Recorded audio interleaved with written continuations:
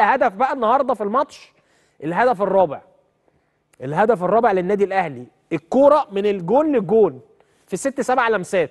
يعني النادي الأهلي بدأ الهجمة من عند محمد الشناوي من ضربة المرمى قعدت تتلعب وتوصل آه، من رجل لرجل لرجل الجون بتاع حسين الشحات اللي هو الهدف الرابع.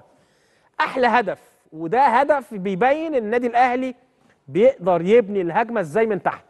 هدف رائع بصراحة الهدف الرابع من أحلى الأهداف الكرة اتلعبت من عند محمد الشناوي لغاية ما وصلت عند حسين الشحات اللي أحرز الهدف عند مرمى.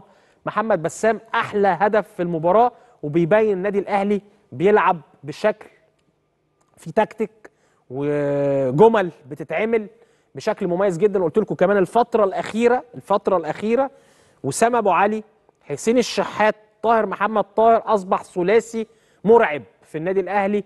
منسجمين جدا. بقى في تعاون ما بينهم حافظوا بعض. يعني معظم اهداف وسام أبو علي دلوقتي طاهر اللي بيعملها له. طاهر محمد طاهر اللي عامل له آه، الهدف النهارده اللي هو اللي- في الشوط الثاني اللي بضربة رأس الهدف الثالث ووسام اللي عمل لطاهر الهدف بتاع آه، الخامس. وسام هو اللي عملها ثرو باس من العمق. وحتى حسين الشحات أهدافه كلها. ده الهدف الرابع. بصوا الكرة بدأت منين؟ اللي هو الهدف اللي أنا بقول لكم أحلى هدف في الماتش. بصوا الكرة بدأت من تحت إزاي؟ كمل مروان عطية راحت هناك ناحية اليمين أعتقد ده أكرم. اتعملت لقفشة. وبعدين آه، اتلعبت لوسام وسام عداها. راحت لإمام إمام عملها حلو قوي لحسين الشحات وحسين الشحات بلمسة واحدة راح حاططها في الزاوية البعيدة. أحلى هدف في الماتش. في حوالي ست سبع لمسات من من عند محمد الشناوي. لغاية ما وصلت عند مرمى محمد بسام لغاية ما وصلت لحسين الشحات. أحلى هدف في المباراة. عايز أقول لسيراميكا هارد لك النهارده عملوا أداء رائع رائع رائع في الشوط الأول وكانوا أحسن من النادي الأهلي في الشوط الأول لكن حاجتين النهارده أثروا على النتيجة.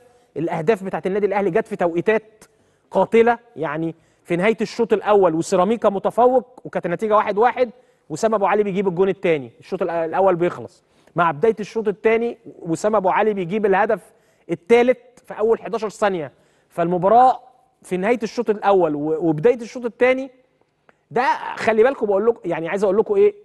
هو عدم تركيز من فريق سيراميكا وتركيز شديد قوي من النادي الأهلي. دايما المدربين يقول لك إيه؟ خلي بالك دايما في بداية الشوط وفي نهاية الشوط. بداية الشوط الثاني وبداية الشو... ونهاية الشوط الثاني الدقائق القاتلة دي بيبقى ما فيهاش تركيز. يعني الأهلي النهارده سجل الجون الثاني في آخر دقيقة في الشوط الأول وسجل الهدف الثالث في أول 11 ثانية في الشوط الثاني الهدفين دول فرقوا وخلصوا الماتش. رغم إن سيراميكا مخلص الشوط الأول أداؤه أحسن من الأهلي. فهارد لك لفريق سيراميكا. النادي الأهلي النهارده اشتغل كويس جدا خصوصا تغييرات كولر في الشوط الثاني اللي جابت السيطرة والاستحواذ للنادي الاهلي. النهارده تركيز لعيبه الاهلي رائع جدا رغم ان هم ما كانوش ادائهم كويس في الشوط الأول لكن كانوا مركزين. يعني لما فرقه تنزل الشوط الثاني وتجيب جون في اول 11 ثانية ده بيبين ان هم نازلين بين الشوطين من اول ثانية مركزين مش سنطره سنطروا خدوا الكرة جابوا الجون الثالث 11 ثانية. فده بيبين قد إيه دي الفرق الكبيره بقى اللي هم بيبقوا مركزين إزاي يقدر يخلص المباراه. بعد يخلص المباراه فتحت بعد كده وأصبحت لصالح النادي الأهلي.